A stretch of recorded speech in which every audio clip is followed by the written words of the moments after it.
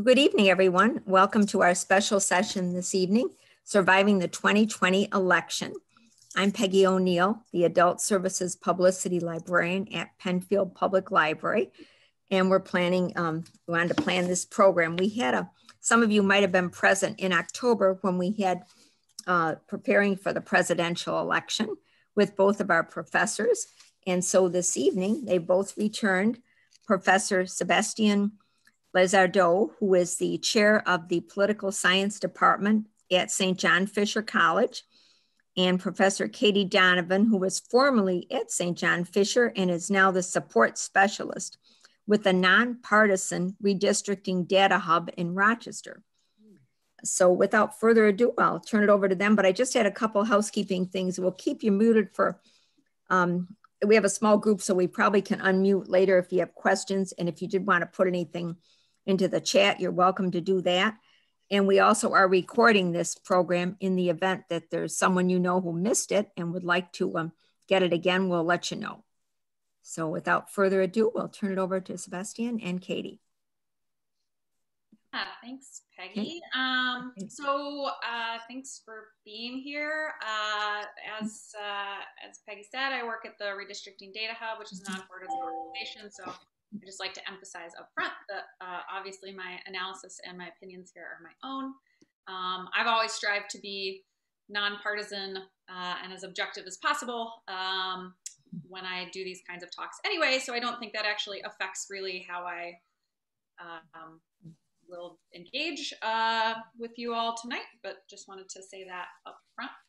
Um, and also, I think our plan of attack for this evening, uh, we'll see how it goes. I feel rusty. Um, I feel like mm-hmm. normally I, you know, I get to talk with the students about all these things, and that really helps solidify my thinking um, and sort of identifying what's important and all those kinds of things. And and now I don't have that. Um, so we'll see. We'll see if that matters.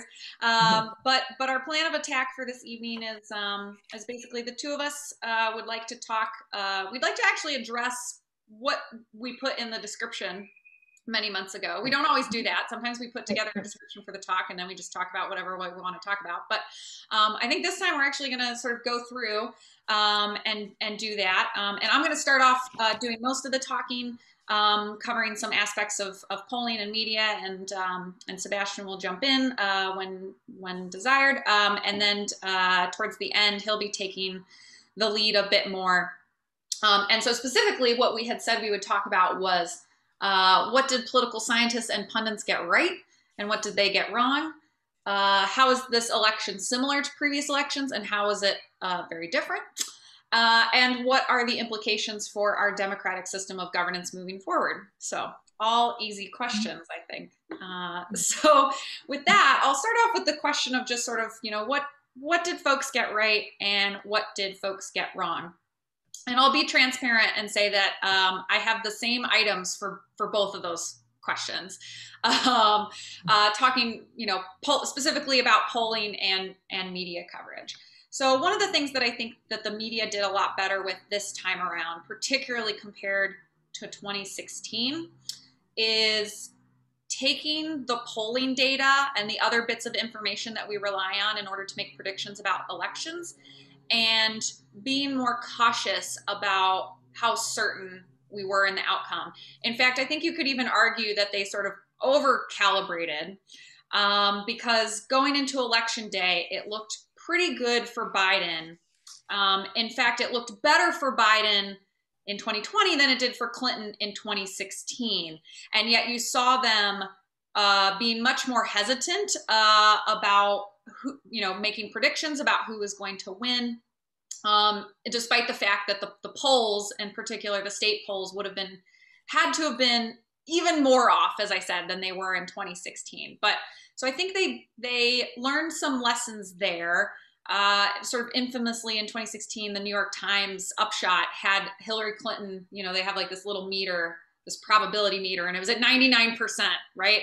And I don't think we'll you know, I don't know what they've that they've done to their models, but uh, I would be very surprised unless it's it's again like clear it's going to be a landslide, and it was never clear that it was going to be a landslide in 2016, even though it seemed very likely that Clinton would win, um, and same with 2020.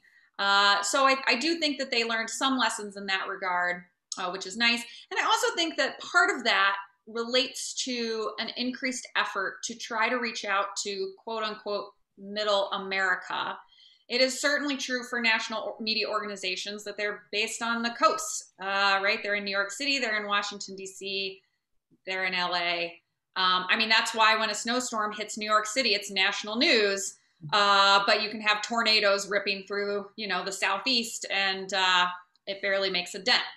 So there is definitely this sort of like city urban focus of a lot of journalists. And I think, again, based on 2016, that they made a lot of efforts to go out and talk in particular to Trump supporters um, and, and trying to understand, you know, how strong was his base of support, which was, you know, again, if we looked at presidential approval, he was pretty much stuck at 40% his whole his whole tenure. I mean, it went up maybe to as high as 45 and as low as 38 kind of thing, but but it was pretty much right around 40. And so when only 40% of the public approves of the sitting president, it's like, well, how what's his pathway to win? Okay.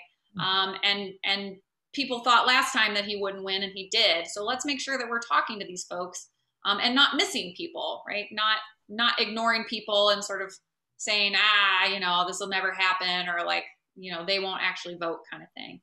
Um, so that's the best I can do for the media. Some small lessons learned. That's very nice. Uh, in terms of polling, um, it's a really mixed bag. So it depends on what website you look at. Um, I tend to look at 538 as well as uh, realclearpolitics.com, um, um, which does some nice polling averages and uh, Biden was up in polls in in the national polls on average by like eight points. Uh, we'll say again, it's going to vary depending on what's what site you're looking at and what aggregation of the polls you're looking at. And he ended up winning by a little over four points. Um, so you know that's a four point margin of error uh, for the national polls, um, which is not you know obviously smaller is always better, but it's not horrific. It's not great, right? There's room for improvement, um, but but not too too shabby. Um, and just to give you some context for this, um, 538 has also gone back and looked at how the polls have performed nationally in the last several presidential election cycles. Uh, and for example, in 2012, Obama was underestimated by four points.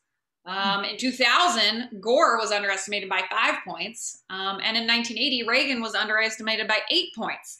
Now, granted, the polling um, improved a little bit since 1980, so I think some of that's the polling methodology.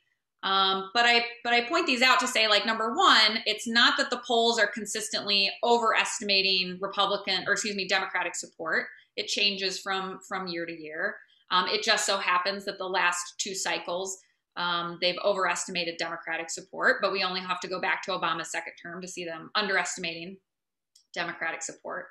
Um, but I should also say too that I'm cherry picking numbers here, right? So like on average, if you look at the last you know 30 years of presidential elections, the average polling miss is about 2.3 points. So yes, uh, in 2020 we were sort of above above the average. Um, and and I guess the last point I'll make about this too is that we care a lot more about the difference between the predictions, the polls, and the outcome when the difference is in the wrong direction.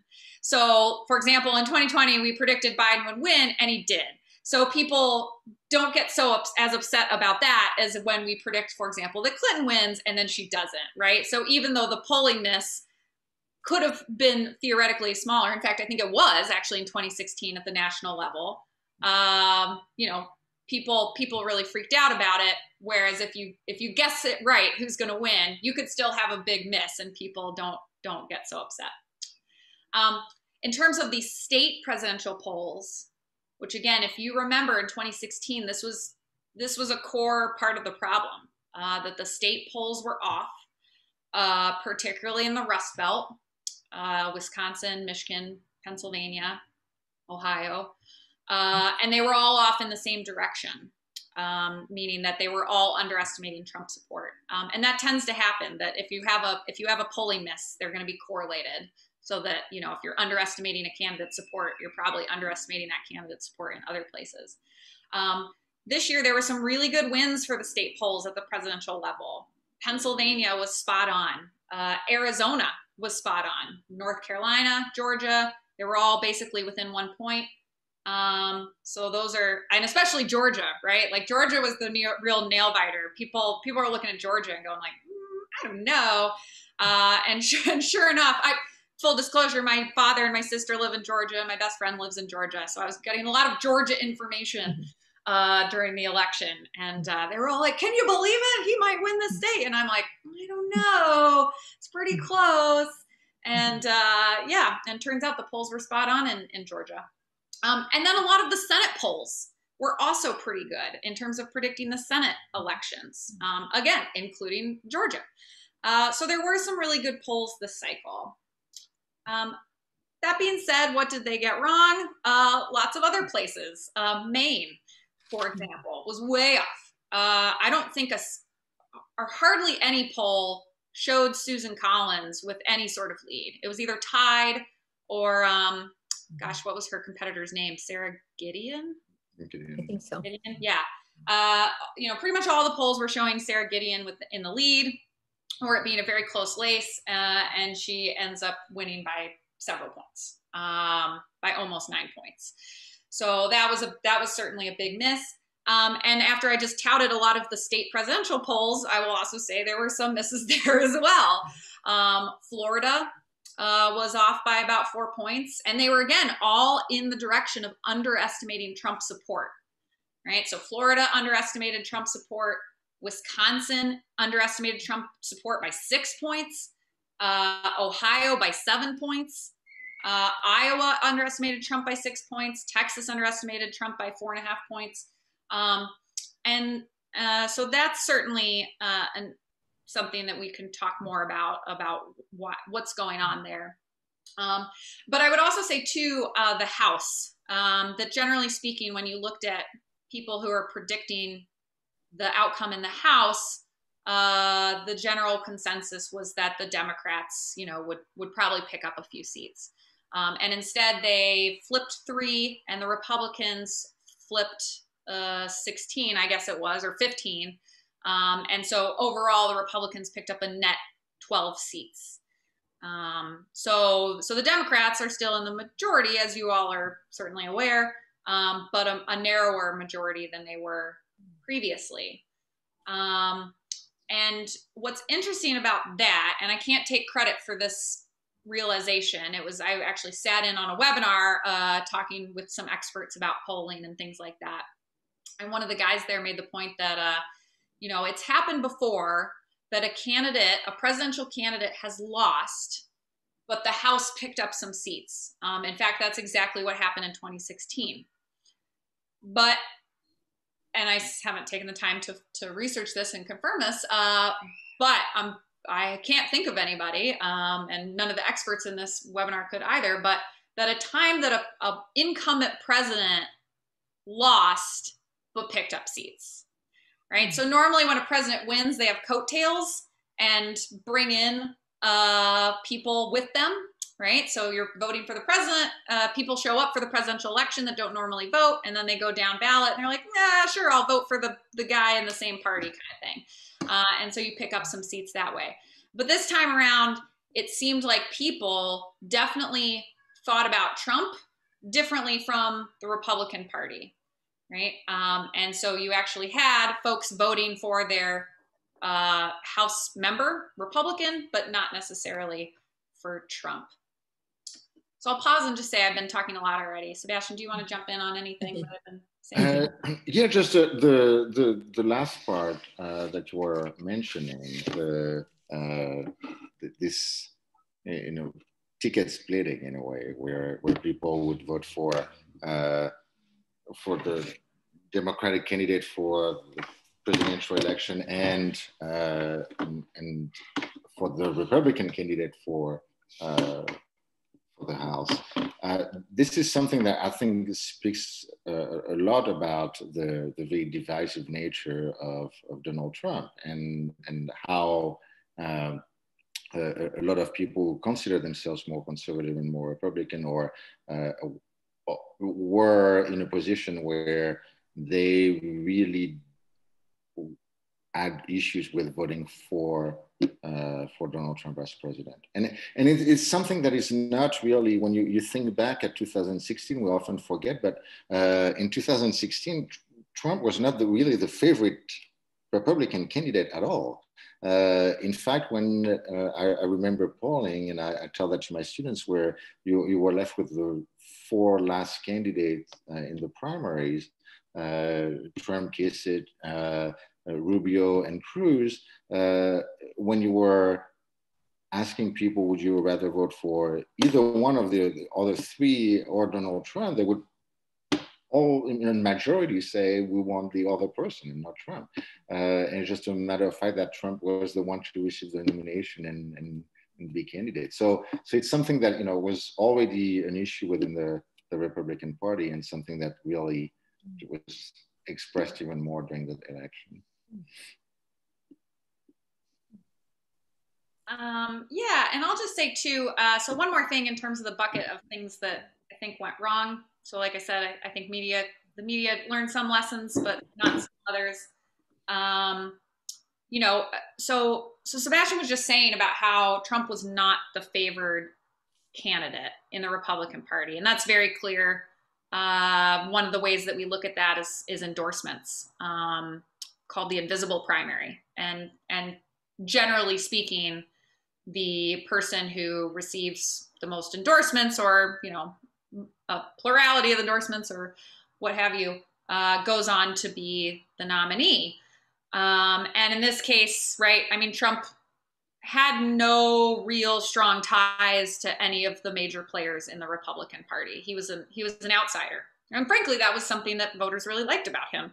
Um, and uh, you know, so so when you try to figure out like how does a guy win, the nomination for president from a major political party with little to no internal party support, um, one of the major factors was just the insane amount of media coverage that he received. Hmm. Because love him or hate him, you were going to read the article. You had to know what what did he say? What did he do now? Okay, um, and and we're all guilty. We were all guilty of that. Again, like no matter what side you were on and uh, media coverage is a predictor of winning. Um, it's it's very difficult to know what causes what because it's sort of like polling and making money, fundraising and being in the media all predict winning, but they're all also related to each other, right? If you're like up in the polls, then people want to donate to your campaign, and then you get more media coverage, and so it's it's all very very connected there. Um, and so he received this. He didn't need money, right? He was personally wealthy, um, but and did fine and fi- fundraising anyway. Um, and uh, you know, so so when you look at just how much he was covered in the media, it, it's we call it free media as opposed to paid media placing advertisements, um, which most Americans uh, dislike intensely. Um, he got just tons and tons of free media coverage uh, that really helped him. Um, and so, so it seems pretty clear that that was a, a major contributing factor um, I don't know that the press learned that lesson. They certainly talked about it a lot. They recognized that they played a role uh, in promoting him and in getting people to talk about him. Um, and it's harder when obviously he's an incumbent president, right? Um, you you have to to cover him. But this was actually an ongoing conversation his entire presidency. It was just sort of like, you know, when he, for example, like proposes something that's just clearly unconstitutional, like that's not going to go anywhere, right? That's that's that's not a workable idea. Like, how do you cover that from a media perspective? Um, so I think they had a lot of conversations about it, but I don't know that they really learned their lessons. And I'm not sure that if we had another candidate like him uh, that sort of, you know, really made a splash and just really was something that people wanted you know was like really attracted to i mean we have a we have a privatized media system for the most part and so they're going to produce media that gets the most clicks and gets the most eyeballs. And so whatever we ask for we will receive. And so so it's i mean it's not just the media's fault it's it's also um, ours as well for sort of being like ah what is kim kardashian and kanye up to now? You know like that kind of thing. But um Uh, I, I, think that that is something that they are aware of, but haven't necessarily addressed. And I think something else that really struck me around the media coverage was, you know, now that we're sort of heading to the end of the pandemic, um, it looks like, fingers crossed, um, you know, maybe it's it's hard to remember, but but in 20, you know, in the lead up to 2020, uh, this was sort of like the second wave, or I think Fauci actually just said this is still the first wave, you know. Uh, but the fall was a really tough time for people and dealing with COVID. And yet, when you look, and actually, I'm including here a link. Um, I can also share my screen if that would be easier for folks. But hmm. um, that is a link to one of the exit polls uh, we actually had two sets of exit polls this cycle. Normally, there's just one. Normally, all the media organizations pool together, the major media organizations pool together and do exit polls. Um, this year, the AP and Fox News um, basically splintered off and decided to uh, conduct exit polls uh, separately um, from all the rest. Um, but uh, if so, so if you look at those exit polls, and they will be a little bit different if you look at the other set of them. Um, and in particular, if you scroll uh, all the way down to issues. Uh, the most important issue facing the country, which for me is like, you know, a third of the way down on my, my scroll bar. Um, the coronavirus pandemic was the most commonly picked issue, right? In terms of what's the most important issue fixing this country, facing this country. Was 41%. But then you had 28% of voters who said the economy and jobs. Um, and those voters went overwhelmingly for Trump. Uh, whereas folks who identified uh, COVID as their number one issue overwhelmingly went for Biden. Not as overwhelmingly as those who picked economy and jobs, but and you know, I was hearing a lot in the media just talking about the pandemic and you know, Trump. Uh, you may recall contracted the coronavirus uh, during the the series of debates, um, and and so it was kind of like, oh, you know, this is the most important thing. He's mishandled it right? All these people have died. Uh, he can't possibly win when coronavirus is the number one issue for people, right? And it turns out, yeah, it was the number one issue for some people, but lots of other people it was not, right? Uh, in fact, you could say the majority of people did not pick the coronavirus as their number one issue. They were picking the economy, they were picking healthcare, they were picking climate change, they were picking racism. Um, there were a lot of other issues out there. And so I think that um, that was something the media fell down on uh, as well, a sort of sort of hyper focusing on this is the issue and this is what voters care about, uh, when in fact lots of voters um, were thinking about other mm. other things. Um, no, that, that's a very good point. If I can add to this, and I, that may be something that I we mentioned in the previous talk, but uh, mm. when, when, you actually look at uh, the the Trump presidency, there are a lot of things that, uh, and you look objectively, a lot of things that Republicans were looking for that were delivered. Uh, tax reform, uh, conservative justices on the bench, uh, an economy that was actually doing uh, pretty well before COVID, uh, and, and, and signs that were of a strong economy, a different type of foreign relations perspective where uh, the US tended to flex its muscle against China a little more. Um, all these things that were actually things that the Republican base wanted. So, so for all the people for whom the the pandemic was not the dominant issue, uh, and and not and were uh, more on the conservative side, there was no reason not to reward the the candidate with uh, uh with their vote for that reason. Yeah, that's that's a really great point. Thanks for adding that, Sebastien. Sorry, the cat is very excited to join us this evening. Oh, okay. No. Ah, yes. Um, the fun of at-home Zoom. Okay, no. All right. He likes the the spotlight. Yeah, she well, she likes girl talk. Anytime I'm talking with people, she's like, um, it's like politics. yeah. Anything.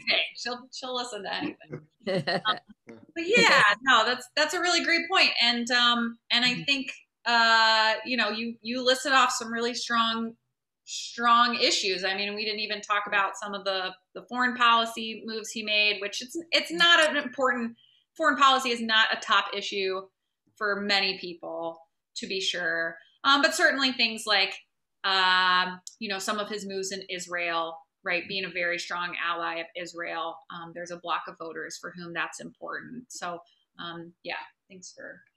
And, and the and the framing of the of the relationship with China as a uh, you know mm that is framed with the um, you know make America great again and and and trade wars and you know not not letting China uh, take over the United States as the dominant economic power in the world. That's that that was really what it was about. So if you made it, if you frame it strictly in terms of foreign policy issue and what should the U.S. China relationship be like? And nobody cares about this. I mean, most voters really don't care about, about this issue. But if you frame it as a, you know, a, a competition over who is the strongest, what country is the strongest economy in the world, then then that that is much more impactful for voters. Um, so that's, that's something to, to consider as well. Mm-hmm. So next we would like to just talk a little bit about how this election was similar with previous elections and, and how it was different. Um, so in some respects, uh, this election was fairly predictable. Um, you know, first and foremost, partisanship is still uh, an increasingly powerful predictor of vote choice and behavior. Um, you know, Biden won 94% of self identified Democrats. Trump won 94% of self identified Republicans. Um, now, what is always a bit frustrating to me, and I say this as someone who has co authored a paper with, with uh, folks using time series data, um, but uh, what I always get frustrated with when we talk about the parties over time is that obviously the people that are in the party change. Uh, and so if you were somebody like a John Kasich in 2016 who were just like, nope, right, you're on, you're the never Trumpers, okay? Are you still an identified Republican in 2020? For example, Colin Powell uh, said he could no longer identify as a Republican. Um, I've seen some tidbits about registration numbers in terms of, of you know, dropping and, and changing. I mean, the number of independents in general has been on the rise for a long time. People are very dissatisfied with our two party system, I think for obvious reasons. Um, but, you know, so in a way, uh, it's it shouldn't be that surprising that that Trump would do so strongly among Republicans, even when, as we said initially, he was not he was far from the preferred nominee uh, of the Republican Party in 2016. Um, and some of that is is just the power of partisanship. Uh, when you know, even if you're reluctant about the nominee, at the end of the day, this guy is the head of your party, and you want to support your team. Um, and that would be just as true of the Democrats as well, right? Um, but also, who is actually identifying as Republicans and Democrats changes over time. And so, even though we can compare and say, like, oh, X percent of Republicans voted for Trump in 2016, versus 2020, mm. the group of people who are part of that party um, does change, uh, I think, in important ways. Mm-hmm. Um, so yeah, partisanship is still really, really important. Uh, that's no surprise in our polarized era. Um, but if you think, if you, I think if you asked any of uh, Dr. Lazardeux's students, right, who have just grown up in this era, right, they, they don't know a world where it's not like that, right? Like they've never they've mm-hmm. never experienced a situation in mm-hmm. which people, you know, might identify as a Democrat, but be like, yeah, I like the Republicans, you know, I'm I'm into that. I, I could see myself voting for that guy. It just doesn't it does happen, but in a much, much smaller scale uh, than it used to. Um, number two, uh, money still buys votes. Uh, if you look especially at the Senate and the House elections and you look at who raised more money, uh, it was like 85% of the time the person that raised more money wins. Now, again, I just said like 10 minutes ago that all these things are related. Money is related to polling, is related to media coverage, is related, you know. So, you know, does money, when I say money buys votes, is it that direct? No. Um, but as a predictor of who is likely to win an election, it's still a pretty good one. It doesn't work as well at the presidential level just because those guys are raising just insane quantities of money and they also have really high name recognition. Um, but certainly at, at the House level, um, lower level elections, that is the case. Um, and sadly, I can say this uh, that this is uh, similar to previous elections because of 2016. Uh, disinformation is still a very serious problem um, and will continue to be a very serious problem um, for a while. I don't know when we'll hit the uh, inflection point. I'm, I'm an optimist by nature. Uh, and so I say the same thing about polarization. It, it can't just continue to get worse forever. Uh, we're basically already at the floor and the ceiling anyway. Like the parties can't dislike each, well, famous last words, right? They can't mm-hmm. dislike each other any more than they already do. Mm-hmm. Uh, at some point, things will have to start going the other direction. The million dollar question is what is the catalyst for that event?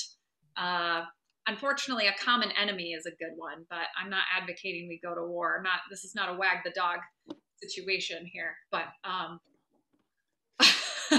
maybe space aliens. I'm sure that if aliens showed up, I hear actually we're going to get a huge UFO report because of the COVID relief bill passed last year.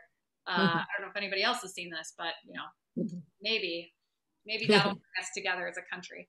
Uh, so, yeah, I mean, and this even started before the election. Uh, you know, talking about vaccines. Um, there is a, a, a small but strong um, anti-vaccination crowd in this country, um, and uh, they have grown more uh, with the pandemic. Um, this is, of course, not confined to the U.S. Um, this this sort of mis and disinformation occurs pretty much anywhere there is internet, and probably even places without internet. it just travels slower by word of mouth. Um, but uh, that they uh, got a real boost um, this past year, um, and then of course, you know, um, the the notion that the election was stolen, it was mm-hmm. rigged. Um, this is actually very, very troubling um, for for obvious reasons, uh, for just upholding our democracy. But um, you know, when I've the polls I've seen, um, and it is not confined to Republicans. There are independents and Democrats who also do think that the election was rigged. Uh, but by far, the largest group uh, is among Republicans, and it's anywhere from you know 50 i've seen as high as 70 but but most of the polls i've seen are like half basically half of republicans um, believe that the election was rigged and the irony of this is that this was the most litigated the most audited presidential election we've ever had uh, it was actually an excellent test of the system um, i'm actually appreciative of the fact that the trump administration filed 61 lawsuits in state and federal courts alleging various things. 60 of these he lost. Uh, the one he did win, I believe, was in Pennsylvania, um, relating to a, a, a, sort of. I should have looked it up actually ahead of time. Um, if you, I'll, I'll try to find exactly what the the win was in that particular case. But um, so that's great. Like, I think it's great to actually test the system and say, like, look, you know, we had recounts. We had uh, recounts in in Georgia, for example. Um, and and for me, the way that I interpret that is as an excellent confidence booster in in the system. Say like, yeah, okay, let's recount, let's audit, let's have a judge consider this. And time and time and again, uh, regardless of whether the judge was a Republican appointee judge or a Democratic appointee judge, uh, the outcome was almost always the same. Mm. Um, uh, and yet this will persist. Uh, I do think, and I'd actually love to hear Sebastien's thoughts on this. Mm-hmm. I do think that that perception will decline over time.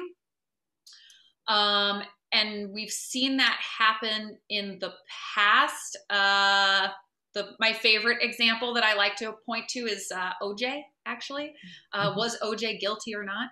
Uh, and in the immediate aftermath of the verdict, blacks and whites had very very different opinions on that. Mm-hmm. Um, but now, and they, they've actually done polls in the last like five ten years or whatever. Mm-hmm. Um, the black community has slowly changed their opinion, and now at about the same rate as whites say that he was he was guilty. Mm-hmm. Um, and so I think with time, that sometimes folks do come around uh, to the reality, which I guess in a court of law, OJ was innocent, but mm-hmm. let's get real. Um, but uh, I I do think that nonetheless the the perception will persist among a subset of Americans, and uh, what that turns into in the long term um, may not be good. Um, it may just simmer and nothing really happens about it, and it's just something that people complain about, and they say like, ah, the election was stolen, but you know, I'm I'm not gonna pick up a, a flagpole, for example, and head to the Capitol. Mm-hmm. Um, but uh, you know, I don't know. I, I unfortunately can't tell the future that well. Um, and I think it was very clear, as it became very clear on January 6th, that there there is a group of people who are willing to take action uh, based on these perceptions. Um, and you know, to the extent that they continue to network with each other and uh, um, and think about this, um, you know, I don't know.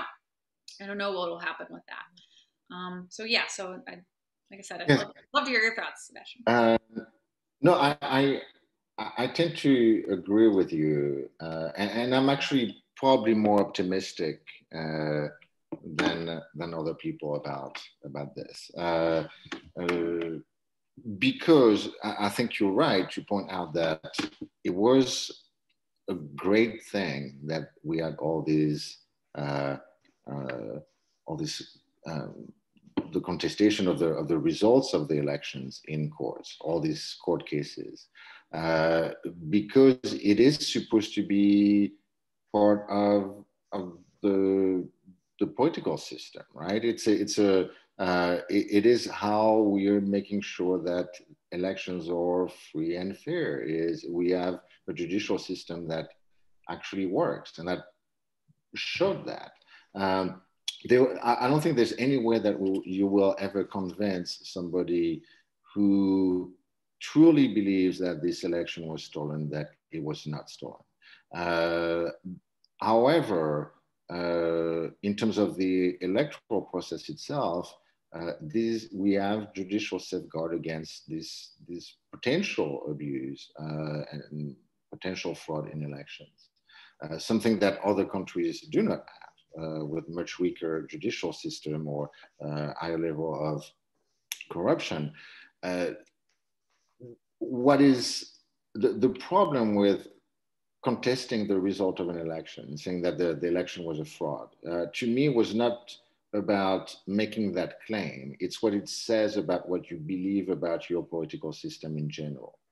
Uh, so um, when uh, the former president who still does say that the election is was rigged my problem with it is not so much you know the statement is the fact that it says that he has no belief in the people who work during the elections the the, the state and the the state electoral laws that are put in place, the safeguards through the judicial system that exist to prevent fraud, uh, all the all the minutiae of, of the procedures of voting that, uh, that exist to make sure that fraud is actually not an issue.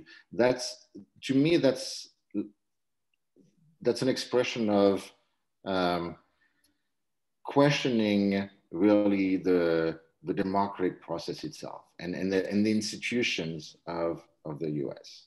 Uh, and and that, that's what I think is, is most troubling about this. Uh, concerning, um, so I, I, think you know, well, but but I think the issue will will disappear. I because uh, I don't think that anybody else, uh, assuming that he's not candidate again in, in 2024, um, I don't think that anybody would go at such length to to push that issue uh, in in the future. So I'm I tend to be a little more a little more optimistic about this. Uh, the the other thing I wanted to talk about, and in, in here I'm going to may, maybe take a stand that is a little bit different from uh, from Katie about about partisanship. I you could very well make a claim that partisanship is a great thing.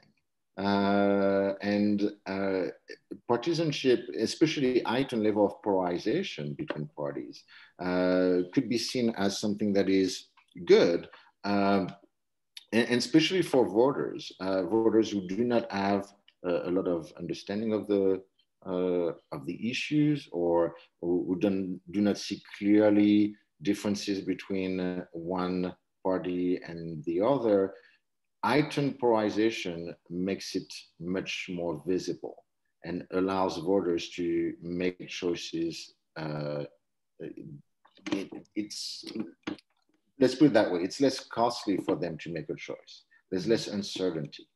You know who you're voting for. You know that you know you're clearly if you're voting for somebody who is extremely conservative, that the, the, type of policies that you're going to get. And, and same thing for somebody who's extremely liberal. Uh, and, and so this, the visibility and the, the, in the, the differences between candidates makes, makes the election easier for, most people. So you could, you know, very well retort, well, yes, but shouldn't the, the public be, you know, educated and and it doesn't give an incentive for the public to educate himself on the candidates and on the issues. Well, that's true, uh, but um, there's not much that we can do to incentivize people to get educated about politics. Uh, it's not something that we get to decide or something that we, you know, it's fine to tell people, well, you need to know about, you know, about the candidates for the election, what they stand for. Uh, how, what, how much uh, control do you have over whether people are going to do that or not? And the, the fact is that for most people, politics is, you know, something that they maybe get a little bit interested, you know, once every four years or, you know, uh, I was going to say one every two years, but that's not even true because midterm elections are not that uh, that interesting for most of the public. Um, and so so it's not really something that we can do much about. So I think that giving these voters who are not for whom politics is not a major part of their life, contrary to people like me who are passionate about it and who have created a you know uh, a career out of it. Uh, it's I, I, think it's, it's it can be helpful.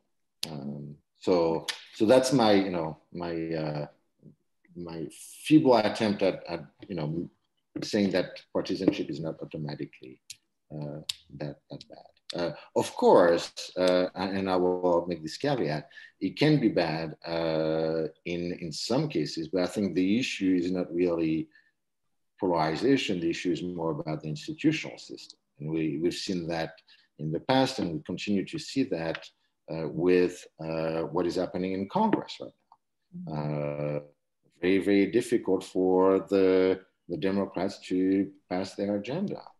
Uh, and it's not so much because, uh, at least, uh, uh, the, the way not so much because the Congress is, is because the parties are so polarized, but because we have rules, we have an institutional system that allows uh, to block legislation from uh, the minority standpoint and that's you know uh, and and and other more complicated procedural rule in Congress that allow to delay votes and delay uh, uh, adoptions and, and, even looking at bills. This is this is the rule, right? I mean, the, you know, uh, I, I, think uh, uh, my my colleague Kitty was talking earlier about things like partisanship or even, uh, well, we can talk about turnout. Uh, these are, you know, these are things that are often guided by the rules that you have in place. Uh, uh, the uh, the turnout this year was extremely high. how much was it? Sixty six percent. So I something that we, you know, it, it's um, I mean, in the context of American politics, it's amazing, right? Uh, it, it's never seen before. And, and even President Trump said that he had, you know, so many million votes. Uh, yeah, highest in over 100 years. It's this said, you know, there, there must be a, a reason for it. So, so what, what could be that reason? Why did we have such a high turnout?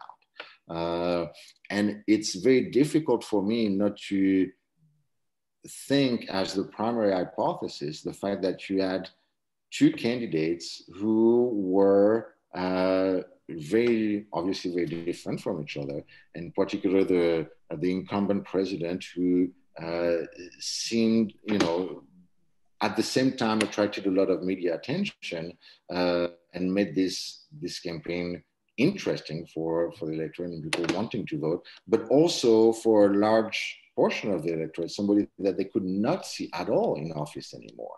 Uh, and so so you go to the poll because you want this person out of office and you want to make sure that he's not going to win.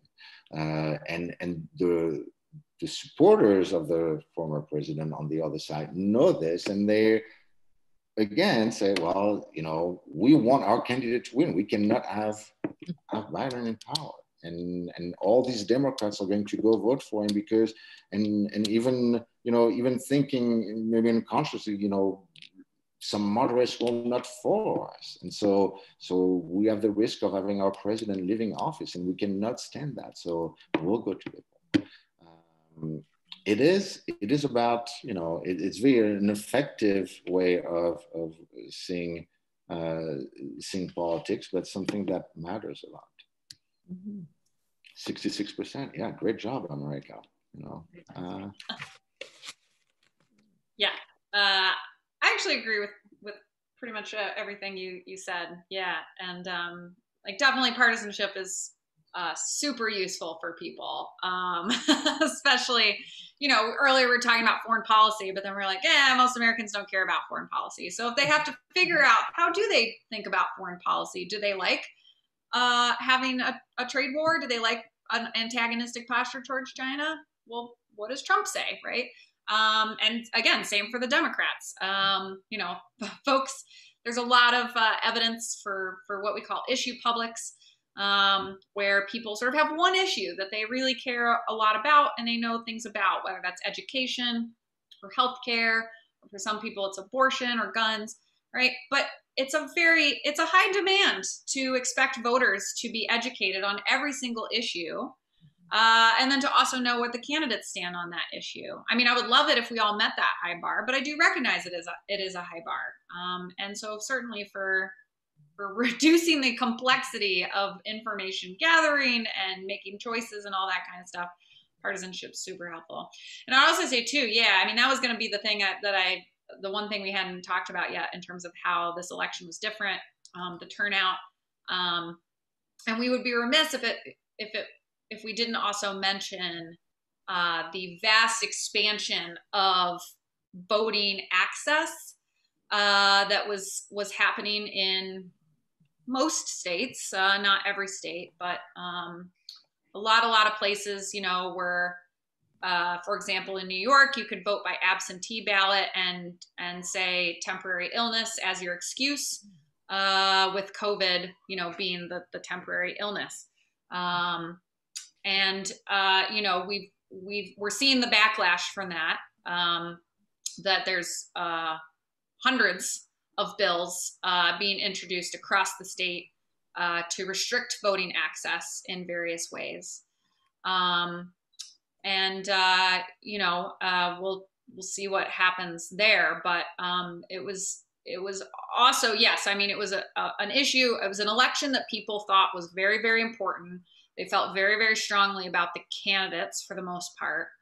Um, and frankly, even though you know we said earlier that there's a lot there's a lot of independents, right? Uh, people who are dissatisfied with the two party system.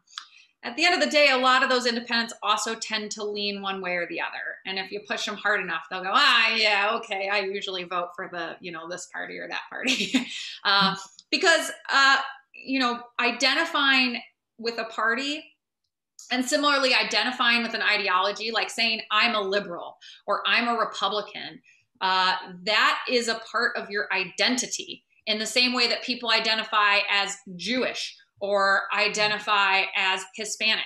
um, and and it's become an increasingly important part of people's identity um, for a variety of reasons. Um, and so, you know, so uh, there are a lot of people out there that just really like to identify as independent.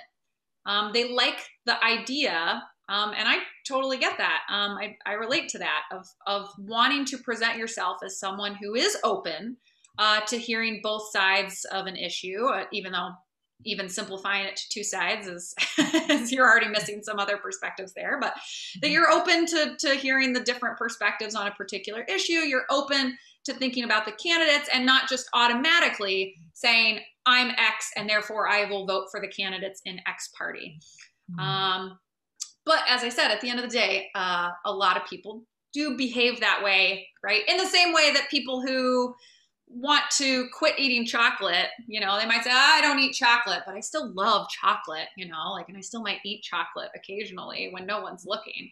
Um, it's sort of like that. no, I'm going to use that one. yeah. I guess chocolate is the the parties in this analogy. Um, I but and I just wanted to say one more quick thing, um, and then I think we should open it up for for mm-hmm. questions and comments um, is that I would like to correct myself. It was actually 62 lawsuits, not 61. Uh, 62 lawsuits. They lost 61. And the one that they did win was that uh, they the judges ruled in Pennsylvania that voters could not go back and cure or basically fix their ballot if they failed to provide proper identification three days before the election. Okay. Um, so yeah, so with that, um, we'd love to hear your your comments, your questions. Um, yeah, anything. I don't see in the chat. I see a couple comments, but I don't think any more questions. People want to unmute themselves too. And yeah. Hi, I, I had a comment. Sure. Um, I have a family member that for a long time has been an independent and um, and has voted either, you know, depending on the candidate that he liked. Um, but you know, since uh, since Trump's been in office, um, he actually changed his party affiliation to Democrat, um, and he just decided he's never going to vote for another Republican again, um, based on you know the the history of what happened um, in Trump's term, and you know how how some of the very partial politics um, Republicans are behaving at this point in time. So I don't know how common you think that is, and if that's going to influence things, you know, going forward, going in the future. That's a good question. I don't know if uh, if Katie has uh, any like idea of uh, of how that would play out. Uh, to be honest, I, I always hesitate to make predictions about the future. I, I, always say that, you know, there's one thing that political scientists are terrible at is predicting what's going to happen. Uh, uh, but uh, this said, uh, I think that uh, in, the, the case of, uh, of the person you were, you were talking about, um, it, it is, you know, it is. I, I, would say it is difficult for for Republicans uh, because they are in a position where uh, they're in a no, uh, they're in a lose lose situation, right? Uh, if you identify with the Republican Party, uh, you automatically identify with Donald Trump and the Trump presidency. Mm-hmm. Uh, if you try to distance yourself from from the Republican Party by distancing, trying to distance yourself from the the Trump presidency, uh, you uh, you're not considered as a Republican anymore. Uh, you're kind of shunned, uh, and so that can happen, you know, at the at the individual level, but that happens within the party. That's what is going on right now. Is that uh, it's very very difficult for a lot of Republicans to uh, even be critical of Donald Trump uh, because they are afraid of losing votes from, from a core group of, uh, of people who are really uh, attached to him uh, as, a, as a person, really. Uh, is, he has, whether you like it or not, he has some kind of charisma that is difficult to explain. and so so what do you do? Like you know, you uh, for some people, uh, becoming yeah, becoming an independent is is the right thing to do. But it doesn't it doesn't mean that they're uh, or, or, leaving the Republican Party. It doesn't you know. I don't think that over the long term, it automatically means that they will never vote for a Republican again. Uh, uh, it, it, just means that uh, they they really don't feel connected to a party that has and, and we've seen that through you know the uh, measures of ideology, a party that has veered more and more conservative uh, and, and has given a lot of space for uh, for the Democrats to, to take that space. Um, so I don't think that you know. again, I'm I'm terrible at making predictions, but I don't think that's when they say I will never vote for a Republican again. That's more of a uh, you know, something you say when you're really mad, you know, like mm. about something. And in that case, they're mad at Trump because they see Donald Trump as as taking the party in a direction that made them really uh, make it made it very difficult for them to win elections in the future. So, could I ask a question? Can you hear me? Mm-hmm. So, so you refer to independence, but isn't it true that the fastest growing demographic is really people registering as blanks? No political party? And doesn't that tell a little different story? And also, you know, when I talk to my friends that have decided to give up either the you know, Republican or Democratic Party and they want to be independent, not the Independence Party, they don't realize what they're doing to themselves by disqualifying themselves from being able to vote in the primary and the like.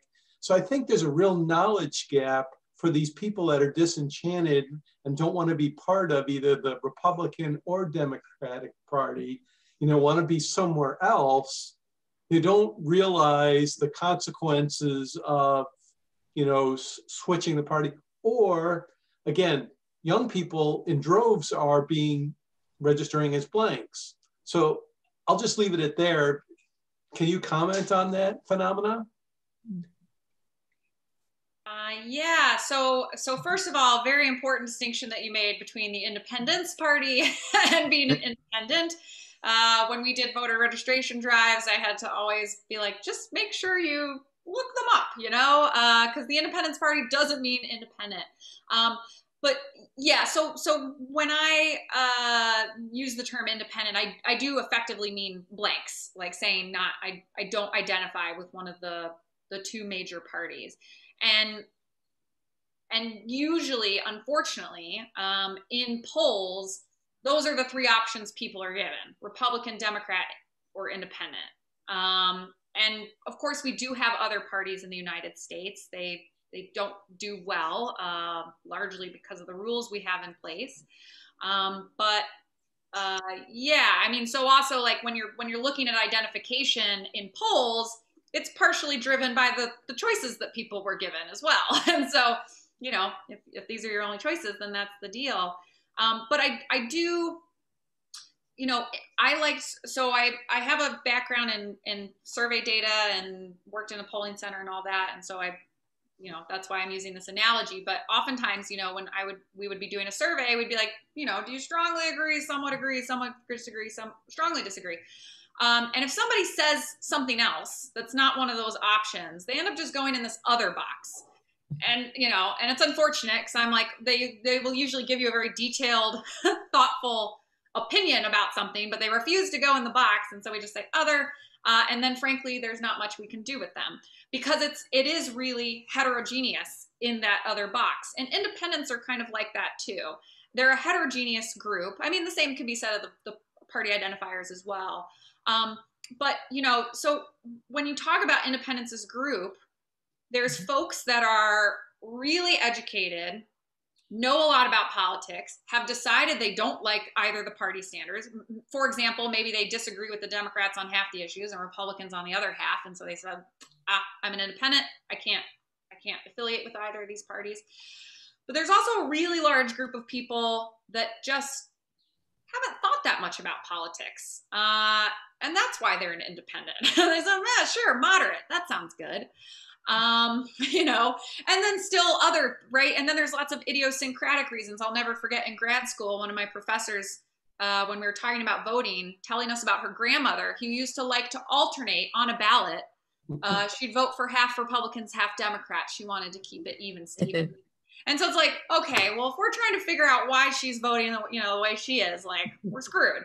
Uh, it's just random at this point, you know, uh, other than she wants to keep a balance. So Mm-hmm. you know so it's it's easy i think for us to sort of overstate uh, and talk about these groups and make it sound like they are homogenous but there is a lot of variation um, in there.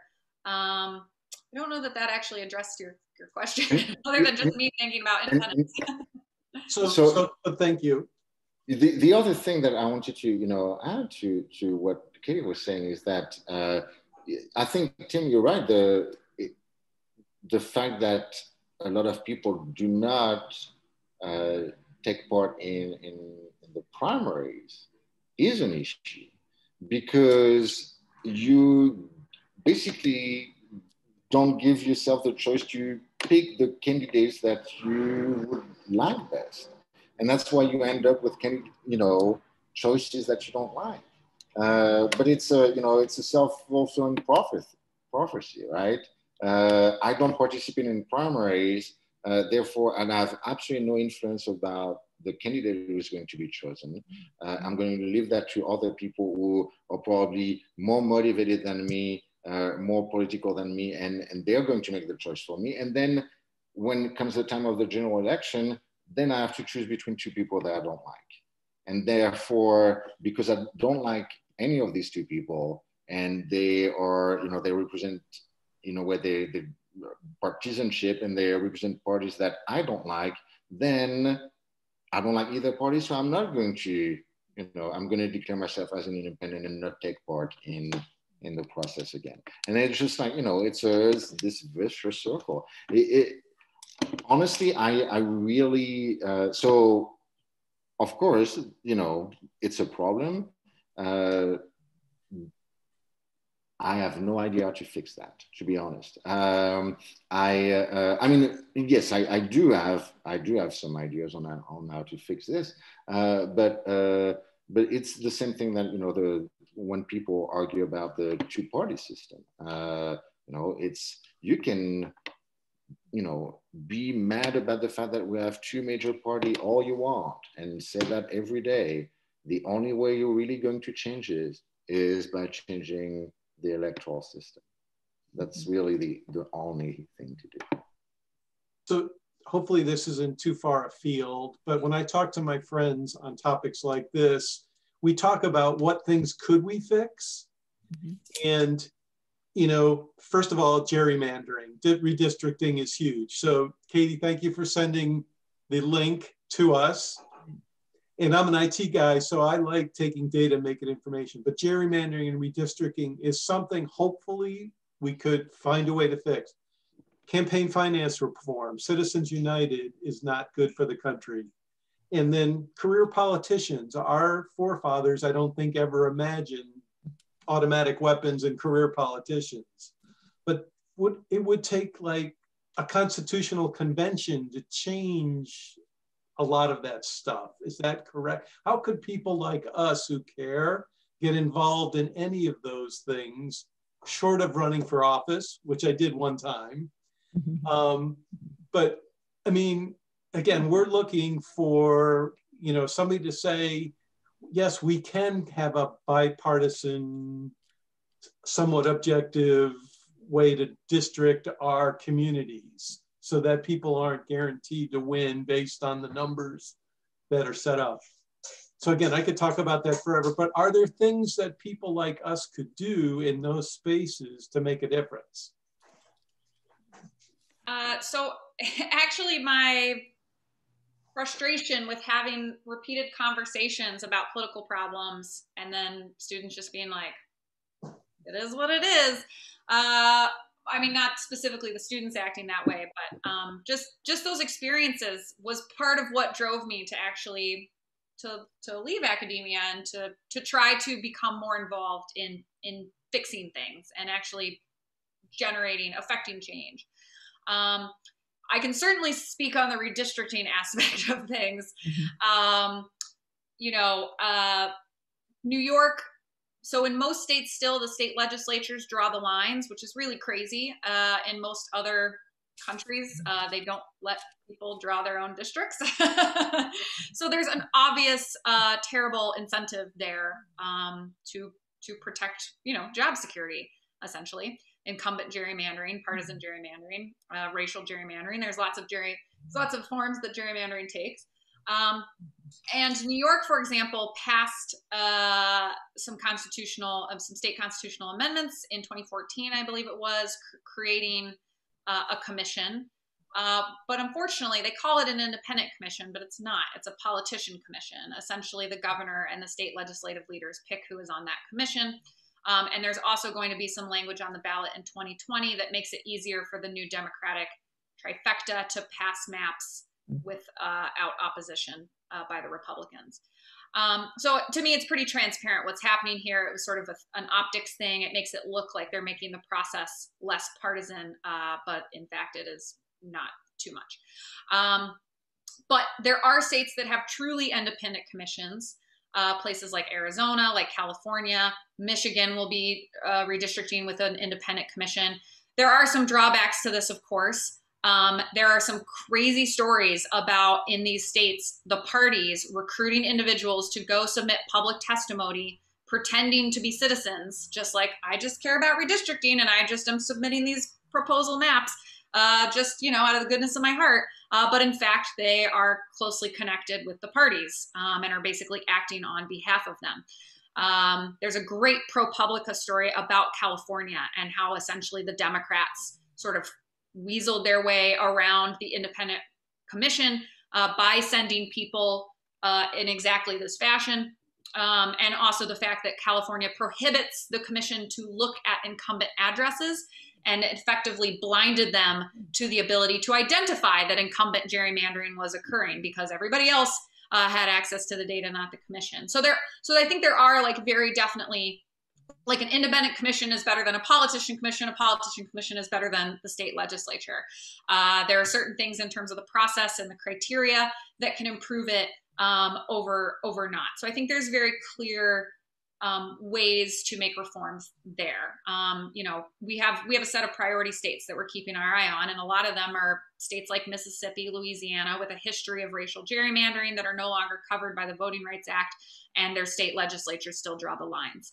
And and it's they have public hearings, but it's it's all for show. It's basically like two days. They had the hearings across the state all at the same time, and then they put the data somewhere in a in a folder and never look at it again and then they say here are the maps we made you're welcome um, but but yeah so i think there are concrete reforms in terms of redistricting the money in politics is is very challenging uh, for the same reason that uh, if you wanted to enact any sort of gun reform is challenging um, just because you know uh, in in the gun situation it's really a state issue um, and we have the Second Amendment, and uh, even when you even when assault weapons were banned in the 1990s, they grandfathered in all the existing assault weapons. It just banned the sale of new assault weapons, and I'm pretty sure at this point we have more guns than people in this country.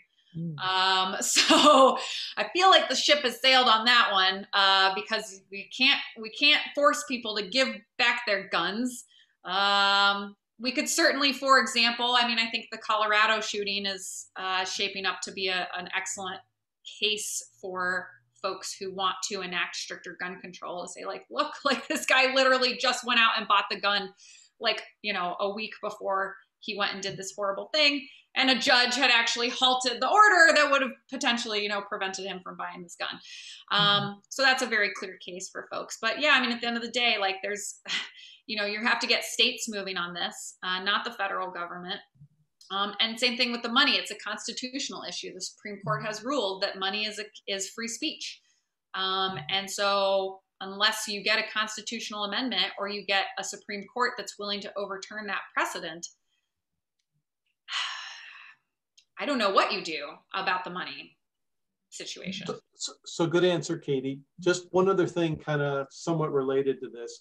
I mean, the national media has such an impact on the populace and local media, whether it's the local newspapers and stuff, have such smaller footprints nowadays. But one of the things that I found that's kind of reinvigorating, every morning now I read Heather Cox Richardson's column.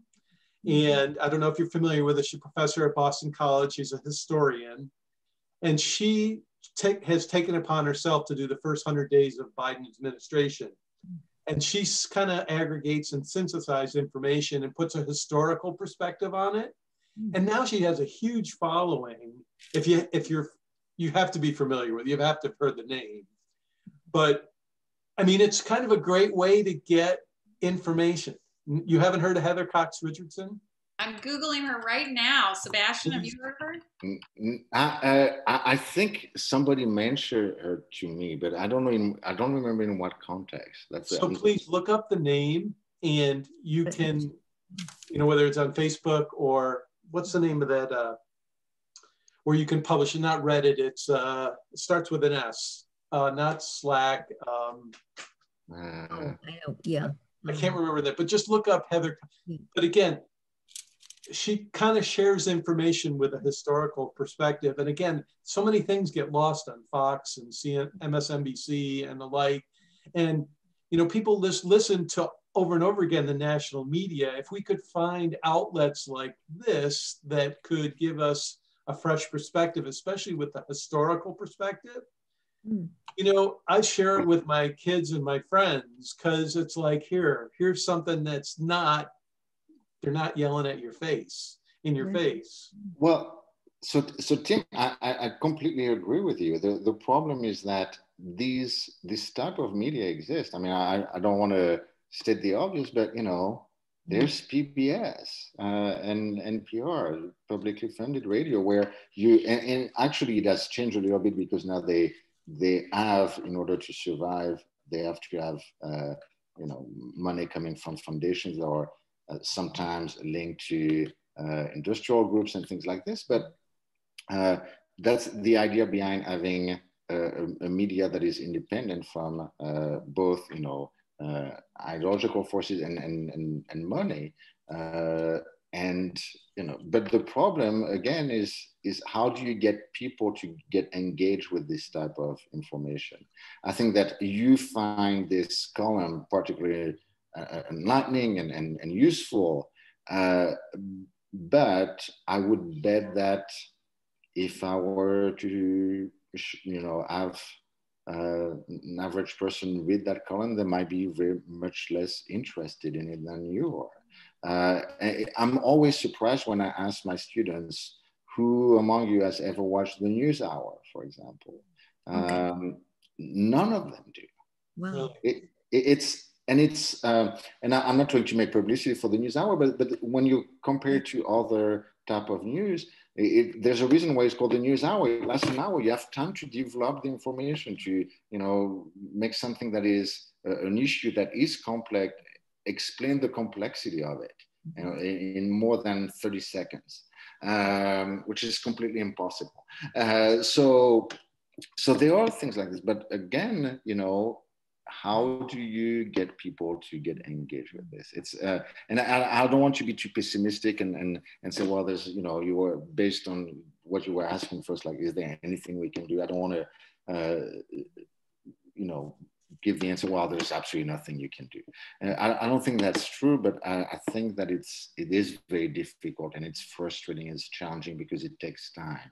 Uh, just talking about I remember last semester talking to my students about voter fraud and how many times and how much uh, we, we, how many times we address the issue, how much time I spent on this to try to explain to them that it was not a systemic problem and, and that, you know, it was not really an issue in this election.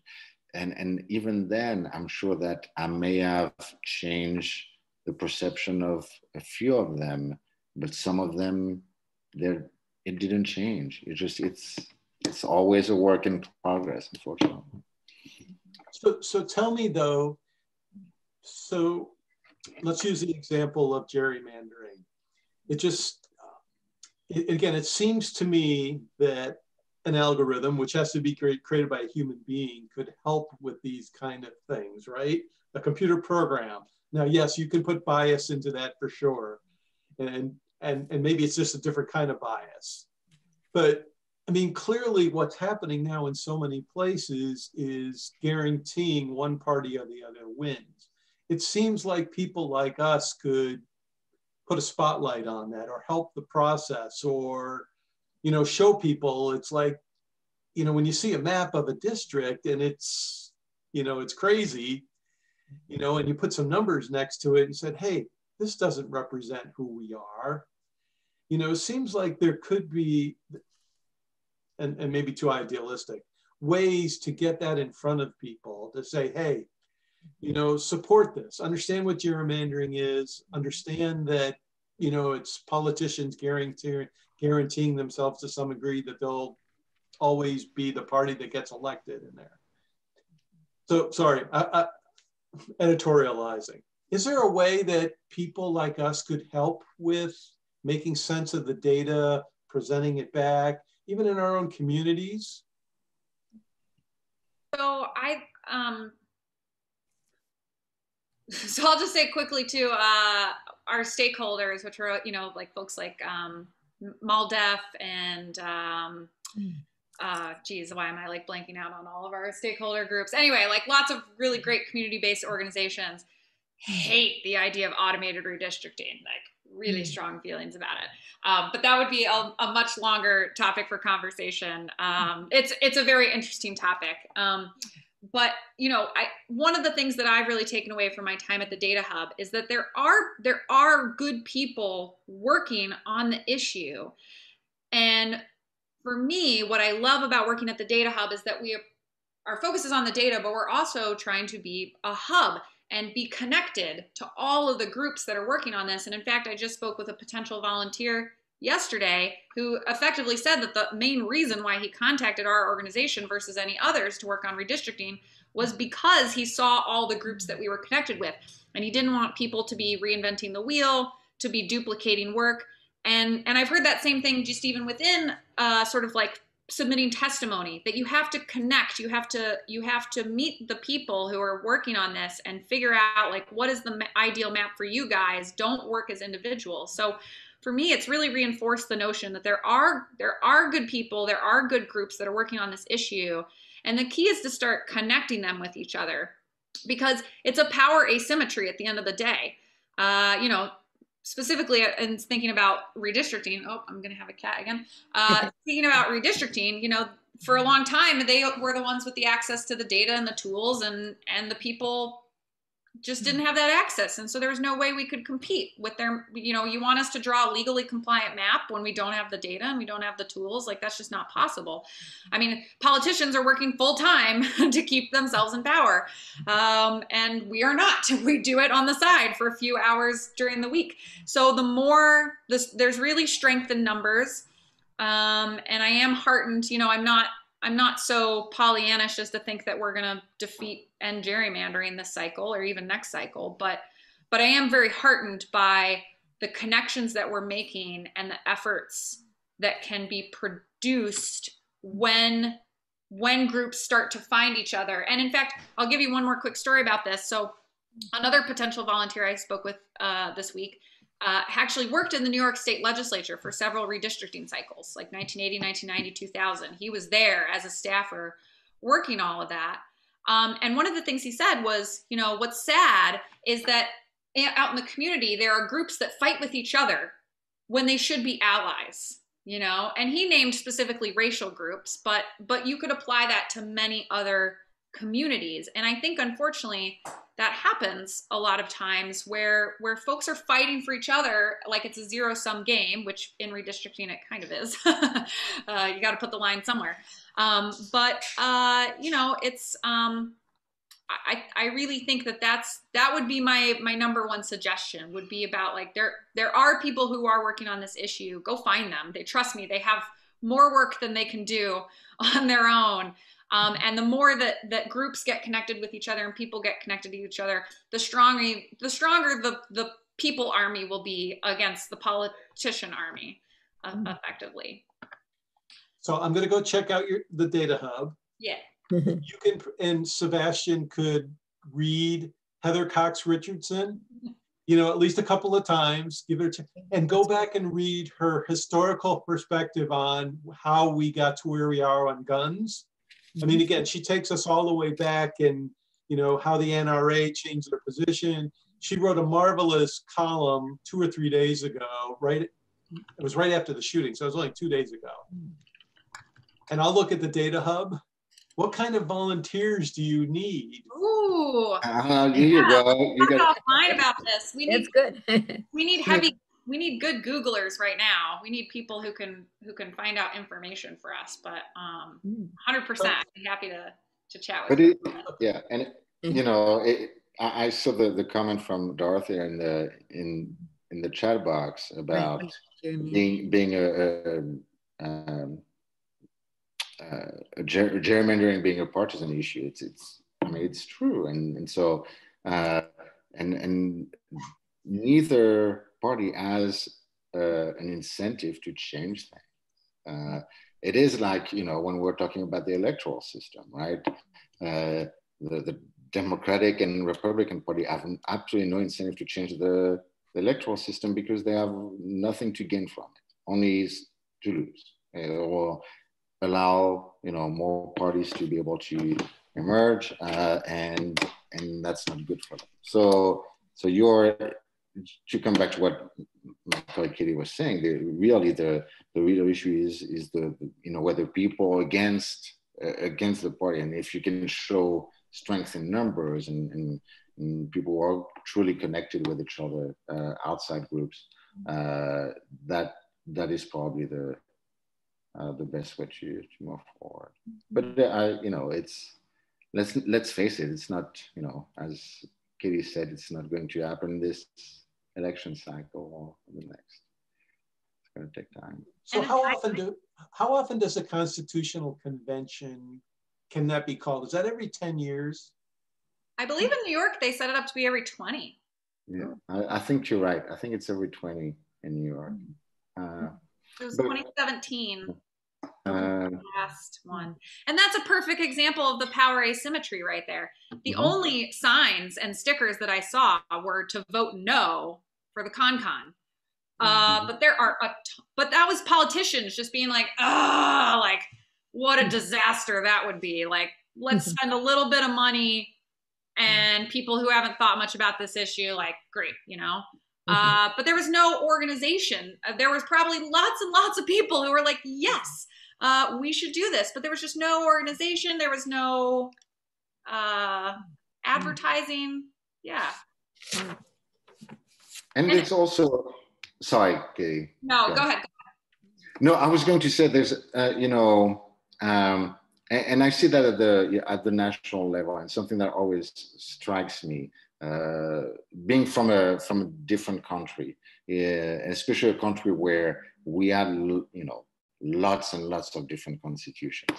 Uh, the, the, the US is very attached to obviously the, the US constitution, but I think that translates to, to uh, the rules of politics in general. It's very, very difficult uh, uh for Americans to believe that you can change the rules and that it's okay. But it, it, it's, there's a, some, uh, I don't know. Uh, I don't know exactly where it comes from, but there's really something cultural there about uh, about how you know you were even Tim. You were you know you were you were mentioning that historian and this historic you know uh, historical perspective.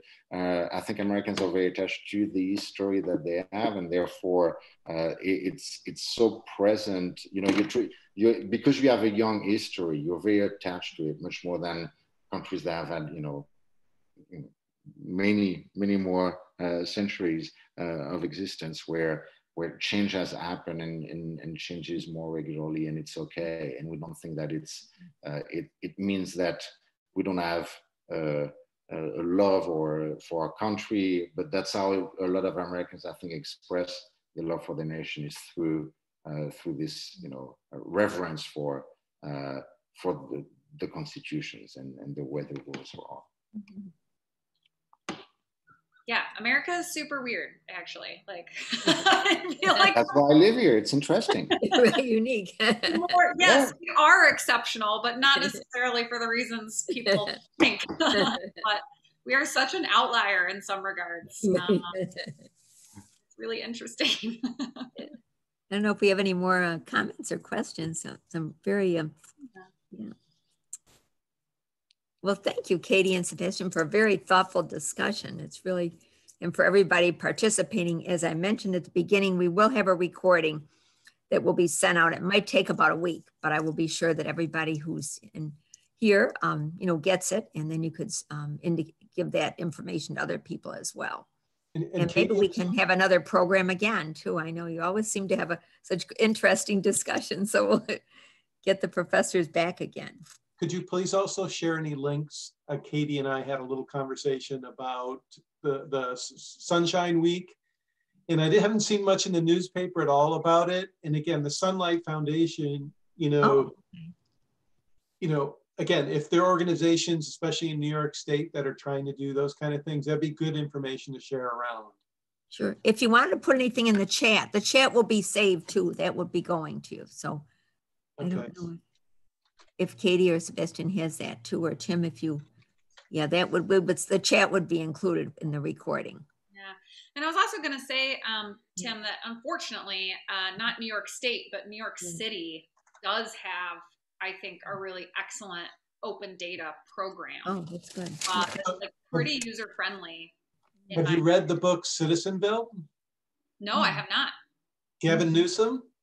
Okay. He oh, seriously read the book Citizenville from Gavin Newsom before he was lieutenant governor. He was the mayor of uh, San Francisco, and love him or hate him, but his book talks about all of that, and it has a bunch of technologists that contribute to the to the conversation. So I've given it to a couple of politicians, and again, it's it, it, put the data out there so people can make sense of it, whether it's parking places or budget data or crime information. All of that is kind of the, the pillars of that talking in that book. Are you looking for it now? Yeah, yeah, I just pulled it up. You, yeah, you guys should read that. It's, I mean, I've had three copies and given away two of them, and and it's exactly what you were talking about. Again, open government, true data, making sense of it all so that again people like me you know who you know can live in a world of a spreadsheet and make sense of data yeah. i mean it's hmm. it's just the way we should be taking advantage of technology looking forward yeah, yeah. so okay so heather cox richardson please your homework is to read a couple homework, yeah. yeah citizenville i think it'd be worth your time you, i think it'd be a good read yeah. check and see if we own it in the library. We probably, probably, my colleague would buy it if we don't. So there's only one in Monroe County, I think. Okay, is it not Penfield? I don't think, but no, I'll tell my Right colleague. had it, I believe, because Okay, yeah, no, I bet my colleague at Penfield. would want Gavin Newsom, and I think it was 2013. Okay, if it's available, yeah, I asked her to, sure. But the whole thing Yeah, about 2013, you're right. available is cool. Okay, It's really great. well thought out and presented. Okay, thanks, Tim. That's great. Yeah, thanks for the recommendation. Mm-hmm. I'm gonna have to read it after this town though, which is a 2014 book about uh, just like all the creepy, horrible connections in DC and how they all just like know each other and give each other. I have. So who, who wrote that? Um, I have that. Um, the bald-headed guy. Um, hmm. I can't remember his Carville? name. Excuse me. Carville? No. no. James oh, James Carville? Or, yeah. No, no, no, no, no. no. So, um, this town, yes. It's kind of a satire, isn't it? Hmm. Well, I haven't read it yet, so that's why. I actually have that book. Yeah. Um, oh. Holy cow. Uh, Wikipedia. Anyway, okay, I'm, I'm, I'm looking it up now, but. We'll have to, I'll check that one too for us. Yeah. Okay, good. All right, sorry, I'm rambling out. Thank you, thank you, Sebastien and Katie. Yeah, thanks to you. Thank you very much for. Uh, Thank you, everyone, too. Thank you for all your contributions, and we'll get that recording out, and then we'll uh, see if we can plan another discussion again.